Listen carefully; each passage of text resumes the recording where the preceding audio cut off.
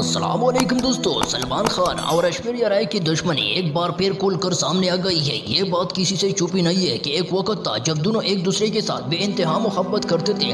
दोनों की मोहब्बत के किस्से आज भी लोग याद करते हैं, लेकिन फिर इसी मोहब्बत के रिश्ते में नफरत की एक ऐसी आग लग गई कि सब कुछ राख कर तबाह हो गया। भले सलमान खान ने इस दुश्मनी को बुला दिया हो, लेकिन ऐश्वर्या राय आज भी इस नफरत की आग में जल रही है। दरअसल ऐश्वर्या राय इस वक्त अपने आने वाले फ़िल्म के प्रमोशन में मसरूफ है। है हाल ही में इस फ़िल्म का पूरा टीम कपिल शर्मा शो में पहुँची थी। कपिल शर्मा शो का मौजूदा प्रोड्यूसर सलमान खान है। यानी कपिल शर्मा शो का सारा खर्चा सलमान खान उठाता है।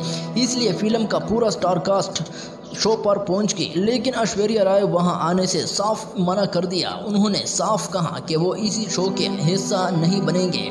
ऐसा नहीं है कि ऐश्वर्या राय ने कपिल शर्मा शो पर कभी आई नहीं है। जब इस शो पर कलर और सोनी पैसा लगाता था तब ऐश्वर्या राय भी बार बार इसमें नज़र आती थी। लेकिन जब से इस शो में सलमान खान प्रोड्यूसर बना है, ऐश्वर्या राय ने इस शो में आना बंद कर दिया है। हालाँकि ऐश्वर्या राय के शोहर अभिषेक बच्चन अपने फ़िल्म के प्रमोशन के लिए इस शो पर आते रहते हैं। सलमान खान और ऐश्वर्या राय की दुश्मनी तब से है जब से सलमान खान ने फ़िल्म चलते चलते की सेट पर ऐश्वर्या राय का हाथ पकड़कर घसीट लिया था। सलमान खान खान ने इस वक्त शाहरुख खान को गिरबान भी पकड़ लिया था।